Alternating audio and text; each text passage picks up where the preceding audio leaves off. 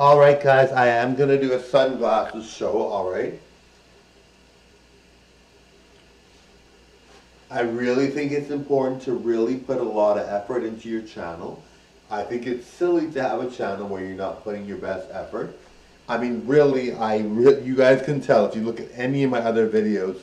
Like if you look at 10 of my videos, you are gonna see a lot of effort, a lot of really good looks, a lot of mega talent. I sing, I dance, I act, I do comedy, I do all kinds of stuff.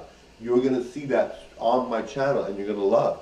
Now I really think, like I said, it's really important to put your best effort into your channel. I really believe that. I think there are some people that don't put any effort. They don't do anything really wholeheartedly. They don't spend enough energy. They don't give enough time.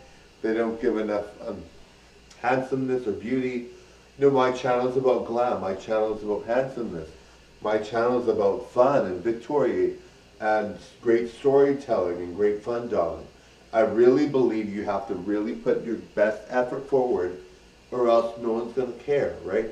The people, people have gone viral on little effort, on channels with no effort at all, no glam, nothing like that.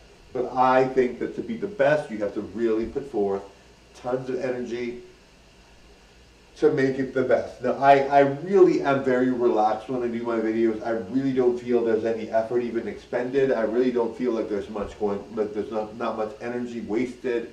I really don't feel any stress. So for me, it's easy for me to do this, all right? So why not give you guys the best, darling? Bye.